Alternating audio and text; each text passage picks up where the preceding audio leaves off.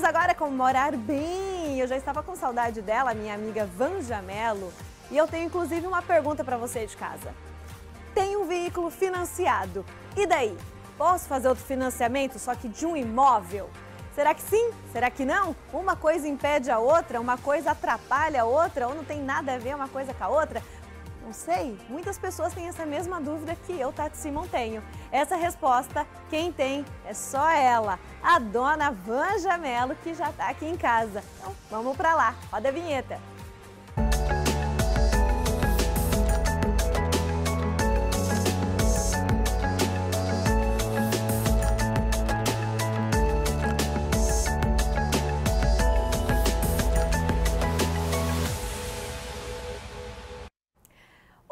Fugindo à regra, em plena quinta-feira, morar bem com Vanja Mello. o importante é marcar presença, dona Vanja. Lógico. Quarta, quinta, sexta. Aliás, podia vir mais vezes Ai, na eu ia semana, adorar, viu? só chamar. A casa é da senhora, é toda sua. Vamos falar de financiamento. Vamos. Esse é um assunto que todo mundo pergunta. Olha, tenho dúvida, mesmo porque antes da gente abrir esse bate-papo, sabe o que ocorre muito, eu acho? Que eu vejo por aí entre os amigos? Eu tenho um carro financiado, eu quero dar ele como entrada na minha casa, que eu quero financiar, mas o carro tá na pendura, a casa também. Aí não vai rolar. Aí a gente só faz o rolo, né? A gente quer fazer aqueles bem bolados. Mas enfim, Tipo assim, eu fico pagando o carro, mas eu já tenho a casa, aí eu continuo pagando o carro pro cara que me deu a casa. É, é mais ou menos assim que eles tentam. é igual aquele meme da Nazaré, né? Aí, e no fim das contas, um total de zero coisas. Mas vamos lá, Vanja. Partindo da premissa de que eu tenho um carro financiado, ainda estou pagando esse financiamento e tenho o desejo de adquirir um imóvel também por financiamento. Então vamos lá. Quando a gente já tem um imóvel, um, carro financiado, a gente tem que ver qual que é a média de comprometimento que esse pagamento desse carro está interferindo lá na sua receita. Certo. Porque a Qual que qualquer é a, fa- a fatia? qualquer qualquer 30%.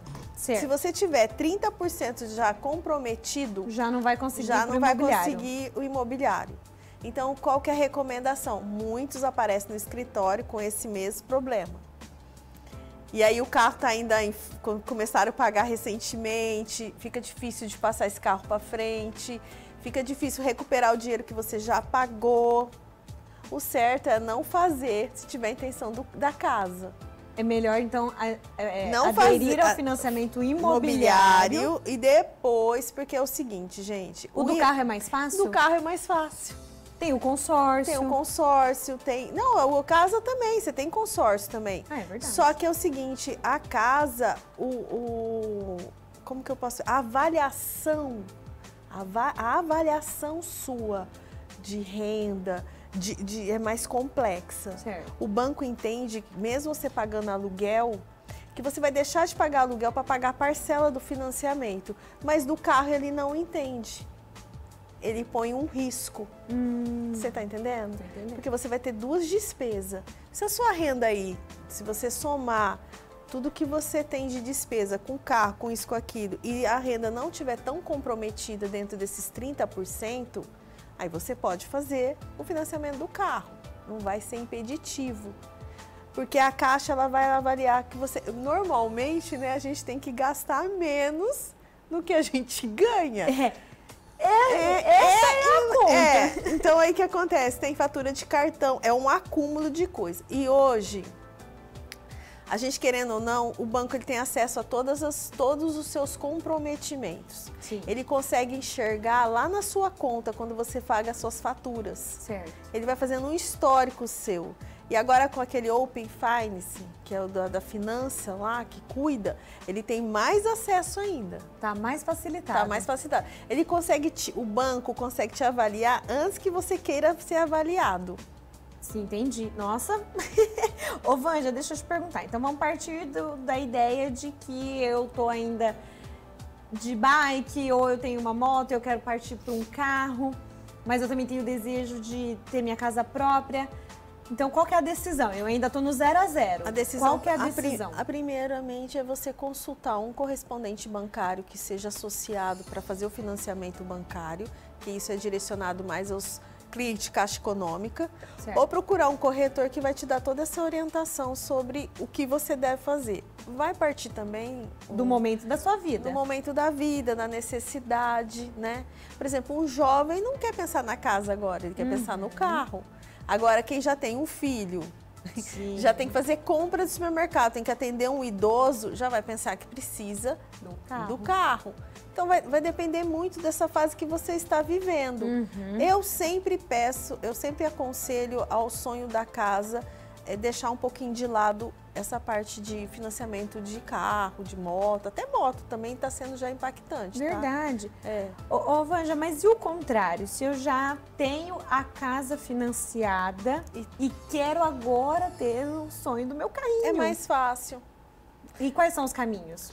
Então, quando você já tem o financiamento do- da, da casa, o banco que vai financiar o seu carro, ele não tem a mesma tipo de avaliação como tem do imóvel.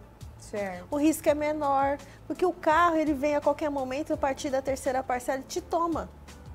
A casa tem todo um processo para tomar, porque se considera um bem familiar já. Eu pus minha família lá dentro. O banco ele fica mais, demo- é mais demorado para ele conseguir recuperar esse bem de Entendi. volta, entendeu? O carro não. O carro, além de tudo, tem a busca, né? Aí, aí tem todo um processo que a polícia pode buscar, oficial de justiça, é toda E uma te toma mais facilmente. toma mais facilmente, porque não pagou a parcela, já está caracterizando que você não está não tá cumprindo o contrato, já teve a quebra. Do imobiliário, ele é mais complexo, porque a pessoa ainda pode tentar uma negociação. O carro também, mas eu estou falando assim, é mais complexo pela, pela Ninguém vai lá te devolução. na não, não vai, casa. não tem como, porque se você estiver abrigando a sua família, há uma demanda relacionada a isso também. Então vamos fazer as contas direitinho. Aí, vamos. então vamos lá. Como que funciona isso? Só para a gente esclarecer agora, para tirar as dúvidas. Hum. Se você tiver 30% de renda comprometida, nesses 30% tem um financiamento bancário, não cabe a parcela bancária, não. Um financiamento de carro, moto, não cabe uma parcela habitacional Certo. da casa, tá? Ah, mas eu não tenho. Então, legal. Então, agora você pode procurar um imóvel e a gente vai fazer todas essas condições. A sobra que vai ter dos 30%, para o carro é mais fácil. Entendi. Entendeu? E aí é possível a sobra para um segundo imóvel financiado? Ai, mas cara, vai, vai ter outras coisas pra gente discutir.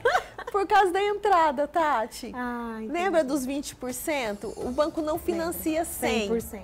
Vai depender dessa questão também da sua renda. Por isso que eu falo, gente, é tão bom quando casa e soma renda. Uhum. Que aí você tem duas rendas para ser avaliada.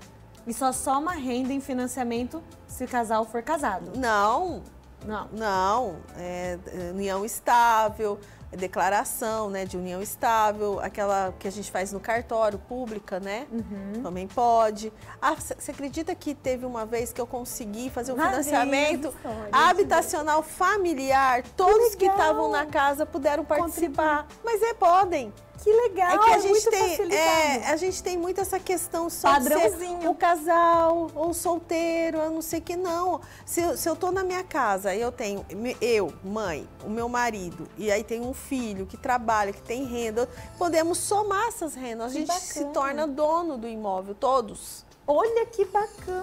Vanja, vamos vir qualquer dia não, falar vou mais vir disso. falar sobre isso, que é muito... A gente fica ali só no padrãozinho. Exatamente. E, e outra coisa, é, quando se procura um imóvel, é legal vocês explorarem todas as possibilidades. Tem muitas. É papo pra mais de metro, É, né? é por isso que eu amo essa profissão que eu tenho. E eu amo essa que eu tenho pra gente ficar batendo papo. Melhor, né? Casamos. Vanja, obrigada. Nada. Antes da gente encerrar o A Casa é Sua de hoje, inclusive, o que, que você faria com quinhentão se pingasse aí no teu Pix? Fazer Ai, um Pix pra você de bem à vontade? Ah. Ah, eu ia gastar tudo com Torra! torrar. Eu ia jantar, ia levar minhas filhas pra passear, eu não ia ficar com É grana extra que entrou, né? É, tô de Aquele boa. dinheiro que você não tava nem contando, Não, é presente. É presente. Entendi. Eu ia abraçar Justo. como presente. Justo. Resposta válida também, viu?